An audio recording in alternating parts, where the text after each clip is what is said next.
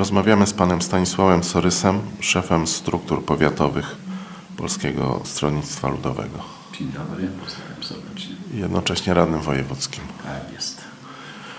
Y, Coraz bliżej wybory samorządowe. Właśnie jak y, pan widzi, jakie są szanse tutaj PSL-u w tych wyborach? No myślę, że one są bardzo duże, że wrócimy do wyniku z 2010 roku, że my jako PSL mieliśmy tutaj w tym okręgu dwa mandaty i że również Platformie uda się zbudować silną listę, e, która weźmie drugie dwa mandaty, że w tym układzie tutaj tym tarnowskim uda nam się osiągnąć e, sukces. Tutaj mamy siedem mandatów.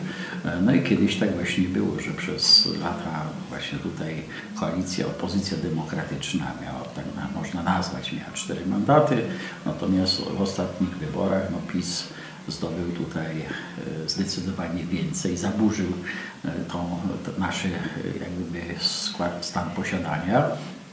No i myślę, że jest szansa, żeby to odbudować. Oczywiście w tej chwili trwają dyskusje, w jakiej konstelacji powinniśmy iść do tych wyborów.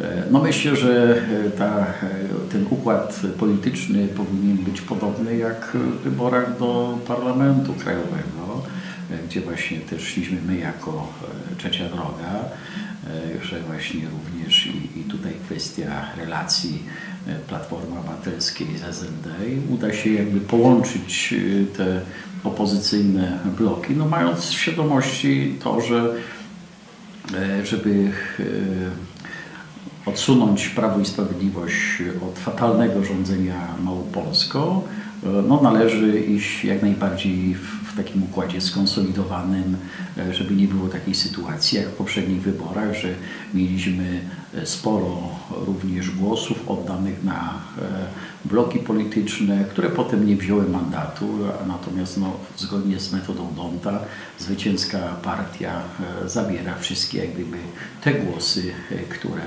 nie zdobędą właśnie mandatu. W związku z tym mam nadzieję, że uda nam się wszystko tak przygotować, żeby nie powtórzyć właśnie z jednej strony tego błędu, no również tego błędu, e, jak patrzymy na wybory parlamentarne, że też mieliśmy pewne ugrupowania polityczne, które zdobyły po 2, a po 3% głosu, e, więc po prostu to też były zmarnowane głosy E, i dzisiaj chcemy, żeby również te osoby, te bloki wyborcze przyciągnąć właśnie do nas, po to, żebyśmy szli w sposób taki bardziej skonsolidowany. A wtedy jest szansa na zwycięstwo i na zmianę układu rządzącego w Małopolsce. Dlaczego właśnie tak fatalnie wypada ocena e, obecnego zarządu województwa? No, oczywiście warto porównać, tak, co się wydarzyło, kiedy myśmy rządzili Małopolską, a no, co jest teraz. No, teraz y, jedynie obserwujemy y, takie funkcjonowanie samorządu województwa z rozpędu, że oni jadą na naszych projektach. No, proszę zwrócić uwagę, że obiecywano nam podwojenie ilości środków dla Małopolski. E, próbowano pokazywać właśnie swoją skuteczność w pozyskiwaniu środków zewnętrznych. Natomiast okazało się, że nie udało się nawet powtórzyć tego wyniku, który myśmy wynegocjowali e, właśnie e, w roku 2014. Przypomnę 2,9 miliardów euro, a w tej chwili no jest to mniejsza kwota od tej naszej. A przecież PiS idąc do wyborów głosił hasła, że podwoją ilość tych środków finansowych, więc nie wywiązali się żadnego zobowiązania, oszukali Małopola. Druga kwestia. Dzisiaj, e, jak patrzymy chociażby na Małopolskę, patrzymy na różne obszary tego życia społecznego, gospodarczego, nie ma tutaj żadnych nowych projektów. Było wiele haseł, zjazd z autostrady, budowę e, połączenia e, drogowego na Warszawę, przybicie kolejowe na Busko. No wszyscy o, tym jak gdyby zapomnieli. Dzisiaj jedynie to, co obserwujemy, to próba obsadzania swoimi działaczami politycznymi różnych stanowisk w spółkach, w zarządach, e, które właśnie są, e, e, są, są pod e, tutaj kuratelą samorządu województwa. I też obserwujemy właśnie przede wszystkim tutaj próba zawłaszczenia tej przestrzeni dla działaczy politycznych. Jesteśmy na progu nowej perspektywy finansowej. I właśnie powstaje pytanie, ja zadałem takie pytanie e, w samorządzie województwa. Jakie nowe projekty dla samorządu, dla obszaru e, właśnie tej części Małopolski, dla subregionu tarnowskiego? Proszę pamiętać, kiedy myśmy rządzili, powstały e, jakby nowe koleje, od nowa zbudowane koleje małopolskie, E, zbudowaliśmy e, pewną jakby przestrzeń czasu wolnego, przestrzeń turystyki, powstawanie jakby pewnych projektów związanych z zagospodarowaniem terenów rekreacyjnych, chociażby wszystkie te ścieżki rowerowe w Małopolsce, to była nasza idea, to było nasze opracowanie dokumentacji i przez nas rozpoczęte projekty, które oczywiście zostały rozpisane na wiele lat i one dzisiaj jakby są kończone, ale to są nasze projekty, które myśmy rozpoczęli. Układy drogowe, jeżeli chodzi o obwodnicę Tuchowa, łącznik autostradowy w Tarnowie, to myśmy zabezpieczyli środki finansowe, przygotowali dokumentację i rozpoczęli procedury związane z wyborem e, wykonawców zadania most w Borusowej. Natomiast e, o, jeżeli chodzi o również modernizację układu drogowego w samym Tarnowie, jeżeli chodzi również o e, układ na, w kierunku Mielca, na Nowy Sącz, na, na Ciężkowice. Natomiast no, w tym momencie jest procedowana z tego co wiem, ale to na razie bardzo wcześniej fazie kwestia obwodnicy Żabna, która tak naprawdę nie spełnia definicji obwodnicy i tak naprawdę to jest koniec projektów, które są przygotowywane, które są jakby w, czy w trakcie tutaj fazie przygotowania do realizacji. E, myśmy kupili ponad 37 pociągów dla kolei małopolskiej. Obecny zarząd województwa część linii przekazał e, przewozom Polregio, spółce Polregio, również e, i to linie, i, i jeżeli chodzi o pociągi. W ostatnim czasie dla kolei małopolskich kupiono cztery pociągi. E, myśmy budowali systemy Park and Ride. Proszę zobaczyć, powstał Park and Ride e, właśnie w Brzesku, powstał Park and Ride e, w Tarnowie, w Tuchowie, w Gromniku, w Ciężkowicach. Natomiast dzisiaj jest wiele jeszcze tych miejsc przystanków kolejowych, gdzie koleje nie są w sposób właściwy wykorzystywane przez mieszkańców naszego subregionu, dlatego że nie ma gdzie zostawić samochodu, że ta jakby komunikacja jest nieprzyjazna dla dla, pasażerów. Proszę zobaczyć, no, jeżeli chodzi również na inne obszary tego e, życia e, społecznego, Mówimy o różnego rodzaju nowych przedsięwzięciach, nowych ideach, które rozwiązują nasze problemy, powinny rozwiązywać nasze e, problemy społeczne, jak chociażby budowę przetwórni rolno-spożywczych, jak chociażby kontynuowanie budowy targowisk. Proszę zobaczyć, kiedy myśmy rządzili, powstało kilka tych targowisk e, i właśnie e, w Reglicach, i w Pleśnej, e, i w Szczucinie, wielu małych miejscowościach naszego subregionu, gdzie właśnie następuje skrócenie tego łańcucha dostaw, że rolnik na miejscu ma możliwość sprzedaży swoich produktów, natomiast to zostało jakby zaniechane. No, od tego czasu, kiedy PiS rządził przez 4 lata, miały powstawać właśnie te holdingi rolno-spożywcze, miały powstawać przetwórnie w każdym powiecie, natomiast no, to jest jak gdyby próba powielania tych samych e, haseł wyborczych e, w następnych wyborach i, i nic poza tym. Więc po prostu mieszkańcy zostali oszukani przez e, kandydatów Prawa i Sprawiedliwości i oni z pewnością teraz przyjdą z tymi samymi starymi hasłami wyborczymi, z którymi przyszli do nas ponad 5 lat temu i myślę, że wyborcy ich w sposób właściwy ocenią, zadając im pytanie, ile zrealizowaliście haseł z tych waszych programów, które, z którymi nieśliście na sztandarach, idąc do wyborów samorządowych e, właśnie 5 lat temu. Jakie inwestycje e, widzi Pan jako najważniejsze dla Małopolski po tym, jak e, w najbliższych latach? No myślę, że najważniejsze to jest kwestia budowy stref aktywności gospodarczej. E, czuję się arkuszerem kilku stref aktywności gospodarczej, właśnie czy to w Zakliczynie, czy to w Tuchowie, czy jedną z największych, która powstała w tym subregionie właśnie w Bochni, gdzie na ponad 60 hektarach w tej chwili już zainstalowały się firmy i to krajowe, i firmy zagraniczne, jak chociażby e, firma Mabuchi właśnie z Japonii, która pracuje dla General Motors. E, wszystkie 62 hektary zostały już praktycznie sprzedane i mają inwestorów i tam są potężne inwestycje gospodarcze. Natomiast kiedy patrzymy, zwłaszcza tutaj, bo kiedy często dyskutujemy o, o bezrobociu, o tym, że z Tarnowa uciekają młodzi ludzie, no właśnie uciekają, bo jaka jest przyszłość młodego człowieka, który skończy studia, skończy politechnikę, jest projektantem, może być kierownikiem, ma uprawnienia do nadzorowania budów. No i teraz tutaj proponuje mu się jakie wynagrodzenie? No najniższe krajowe.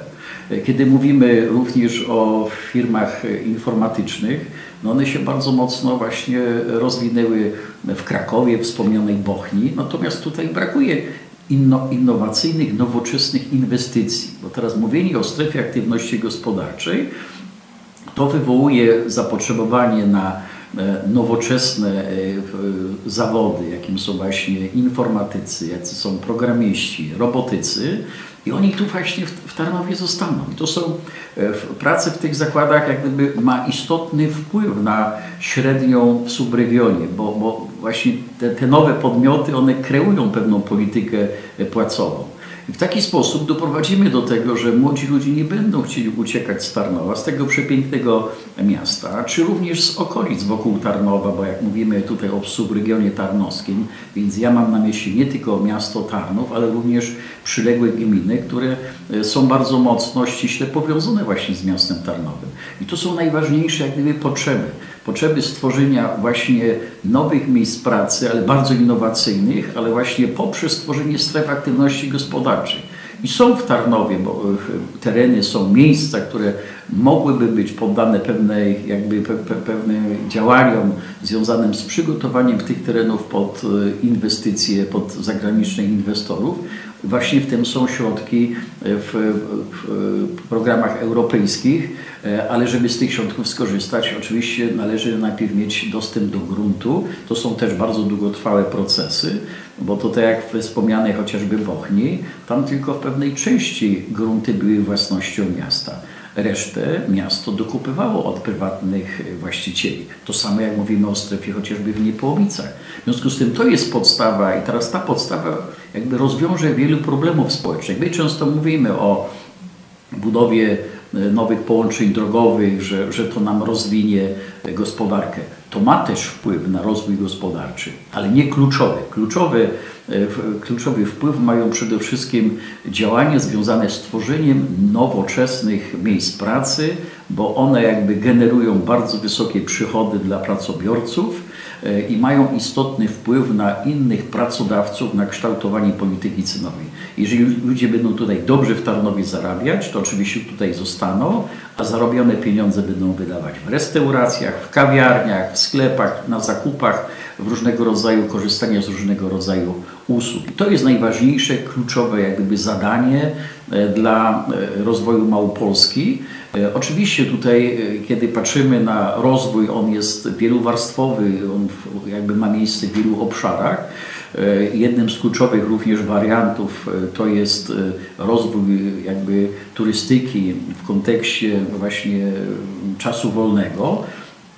Myśmy też w tamtej perspektywie finansowej też wytypowali kilka takich obszarów, jak zagospodarowanie zbiorników wodnych, E, wód mineralnych, między innymi tak zwany projekt źródlany w Ciężkowicach, a w tym projekcie jest pięć gmin, gdzie na terenie tych pięciu gmin pojawiła się nowa infrastruktura rekreacyjno-turystyczna. I dzisiaj patrzymy, ilu na przykład e, mieszkańców Tarnowa czy naszego subregionu e, jedzie do Ciężkowic, czy to właśnie do Parku Zdrojowego, czy na Wsieszce w Koronie Drzew, e, czy właśnie do Centrum Edukacji. E, jedzie, żeby tam przede wszystkim i odpocząć, ale również e, uczestniczyć w pewnym procesie edukacyjnym, jeżeli chodzi o edukację właśnie ekologiczną. I, i, I, jakby tych obszarów to jest kwestia również rozwój chociażby transportu, polityki transportowej. Myśmy zrobili pierwszy krok, ale teraz jak obserwuję na przykład zarząd województwa kilka linii kolejowych oddał dla Polregio. E, Często ja jeżdżę do pracy do Krakowa pociągiem, tak? I często tak się dzieje, że e, Polregio e, wysyła pociąg jednoczłonowy i on przyjeżdża, kiedy ja wsiadam w Tarnowie w Mościcach, to my tam już stoimy, czy wiele osób już stoi w tym pociągu i w takiej pozycji musi jak gdyby kontynuować tą podróż do Krakowa. W związku z tym to nie są dogodne warunki, to nie jest właściwa, jak gdyby, y, właściwe podejście do rozwiązywania problemów. Tym bardziej, że obserwuję chociażby w Krakowie, my przyjeżdżamy stłoczeni, a patrzymy, że na przykład na, z innej linii przyjeżdża pociąg, który jest pociągiem dwuczłonowym, a tam jest kilka osób w tym pociągu. E, ale tam obsługują koleje małopolskie, więc przekazania, ja nic nie mam do Polregio, do innych spółek, natomiast one też muszą jak gdyby odpowiadać na dzisiejsze potrzeby społeczne. E, Ta jakby rzeczywistość się zmieniła. To nie są te czasy, że ważne, żeby pociąg jechał, a nieważne, czy to pasażer stoi, czy on siedzi, ale on po prostu do nas mm, przyjdzie, bo nie ma żadnej alternatywy. Nie. Jeśli będziemy w dalszym ciągu kontynuować taką politykę, to oczywiście ci pasażerowie się odbiją od kolei, będą szukać alternatywnych środków transportu, e, dlatego że oni byli nauczeni, kiedy myśmy rządzili, jeździły pociągi, chociażby pociąg Nikifor jeździł dwuczłonowy i nie było z tym problemu. E, Obsługa kulturalna, bo dlatego myśmy nie tylko kupili e, pociągu, to 37 e, składów, ale myśmy również szkolili kierowników pociągu, konduktorów, po to, żeby jakby pasażer wchodząc do pociągu miał takie poczucie, że ktoś się nim opiekuje, że ktoś się cieszy, że on wybierał właśnie, wybrał taki, a nie inny środek transportu. A często w tych innych pociągach, kiedy, kiedy gdzieś tam się przemieszczamy, no to jest takie nastawienie, że pociąg jedzie, jak chcecie to siadajcie, jak wam nie pasuje, warunki jak wam nie pasują. Jedzie pociąg, który na przykład ma 60 któryś rok produkcji, e, huk niesamowity, trudno na przykład się gdzieś tam skupić, coś poczytać. To, to nie są te warunki, bo proszę zobaczyć, kiedy ja jeżdżę, obserwuję, że wielu pasażerów jadąc do, do pracy do Krakowa przegląda dokumenty, czyta właśnie te dokumenty, czyta różnego rodzaju materiały, a w tych pociągach nie da się skupić, nie da się skoncentrować. Więc mówimy przede wszystkim o jakości. Teraz zarząd województwa, obecny zarząd mojego województwa doprowadził do obniżenia poziomu obsługi ruchu y, kolejowego. Ja kilka razy na to zwracałem y, na sesji sejmiku y, uwagę y, członkom zarządu, którzy są odpowiedzialni właśnie za ten sektor, no ale grochem o ścianę. Więc musimy to zmienić, a możemy to zmienić właśnie to podejście do, przede wszystkim do rozwoju społeczno-gospodarczego e, poprzez zmianę ekipy, bo ta ekipa zajmuje się w dużej mierze programami społecznymi, programami socjalnymi, e, promocją e, własnej, własnej tożsamości, promocją właśnie organów Prawa i Sprawiedliwości. Natomiast to, to nie ma nic wspólnego z rozwojem społeczno-gospodarczym Małopolski. Bardzo dziękuję za rozmowę. Dziękuję bardzo.